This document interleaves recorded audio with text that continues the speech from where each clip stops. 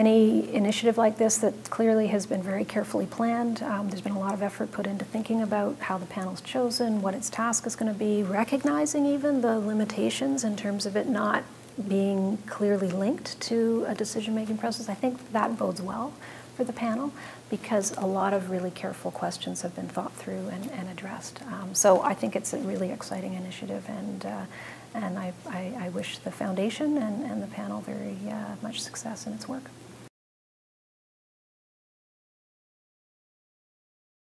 When I think about meaningful public engagement, I think about engagement that is, is respectful of, of people's time, of their ideas, uh, and that actually is ge geared towards really delving very deeply into their values, not just their top of mind um, atti attitudes and perspectives on a topic, but actually delves much more deeply into the values that underpin those, um, that uh, has a process that is fair um, that is uh, very credible and legitimate and that um, respects all viewpoints and attempts actually to get at all viewpoints through the, the, the, process that's used.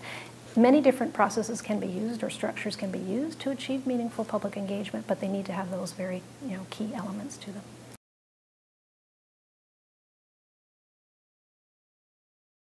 The move towards, and I guess the, the um, excitement, enthusiasm about pub, deliberative public engagement um, comes from, the, again, the shift from the kind of traditional approaches which have uh, been based on public opinion, attitudes, focus groups to some extent too, but not as much about providing information to the participants before they actually weigh in on the issues. So many people come to um, thinking about issues from very different perspectives with very different levels of information and, and knowledge.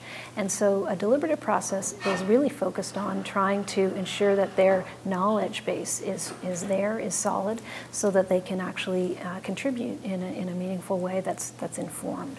So that's, that's a really important part of it, uh, as well as this uh, idea of actually looking at the values that underpin their perspectives and attitudes, and not only those top of mind uh, attitudes. So that shift to deliberation, and obviously deliberation means you know this idea of, of, of, of thinking meaningfully and, and carefully and, and deep reflection on issues, and, and so deliberative public engagement processes would have those features as well.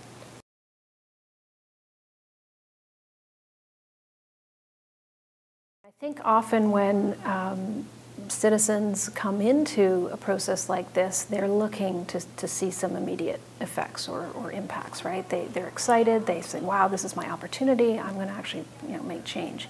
And I think it's really important for those who are organizing these kinds of processes to be really clear about what they can promise in terms of this will have an impact on, on this decision or this is going to feed into a, a larger process that will not necessarily result in, you know, a definable um, impact.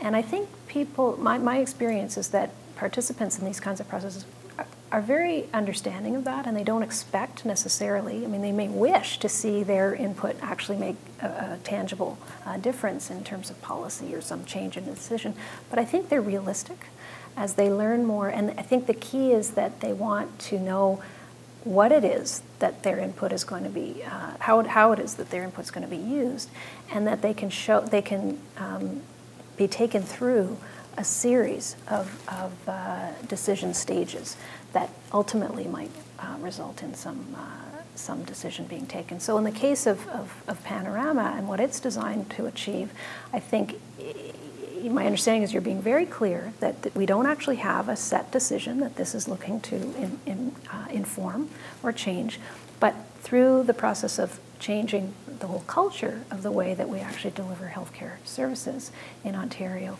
that by bringing a group like this together through the panel, hopefully there will be some um, impetus to respond to what comes out of, uh, of, of, the panel's deliberations. So that's my understanding. It is very difficult to actually trace this from one from beginning to end.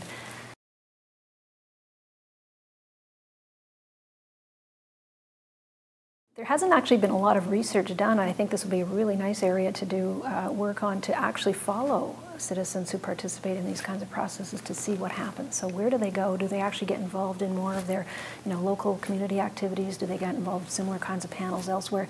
I know that there's a huge interest in carrying it on. In some cases, I've heard people say, I don't want to waste you know, um, this incredible opportunity I've had by just having it stop here. I want to carry on. In some of my own experiences where it's been a time limited deliberative process, at, at the end of two years, they've said, please, can we carry this on? Can you find a way to continue the project? And because they, they develop skills, right? They not only are they learning new things, but they're developing skills. This uh, investment in them in learning how to do deliberative dialogue, uh, I think leads them to say we, we should really pay back in some way. And so that's the biggest um, um, you know, reward I think uh, participants gain from their experiences in these, in these types of processes.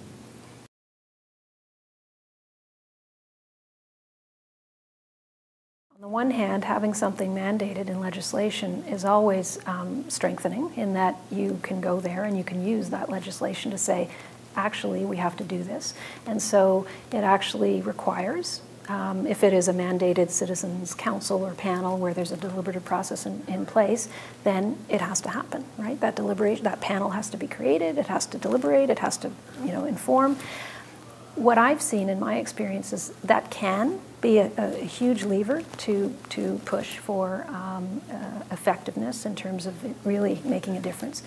But I think what's equally important is that you've got leadership in place who are actually going to make sure that this is taken up. And so you can have legislated public engagement that doesn't go anywhere because there wasn't actually that commitment at the highest level to make sure that something happens with it. Uh, uh, whereas you can have, you know, in more, more less formally, uh, um, you know, legalistic requirements for public engagement that are just as successful in actually making change or in informing change because you had leadership in place that was uh, very much committed to seeing something done with the input.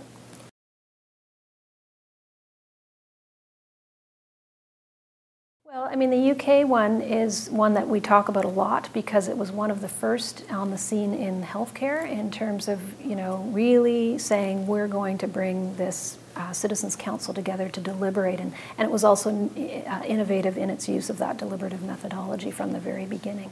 So, very high profile, tremendous attention being paid to it, and it's been very influential because we've now got examples in Canada of similar kinds of councils being structured. I, I wouldn't want to uh, suggest, though, that it hasn't. It has been, you know, perfect.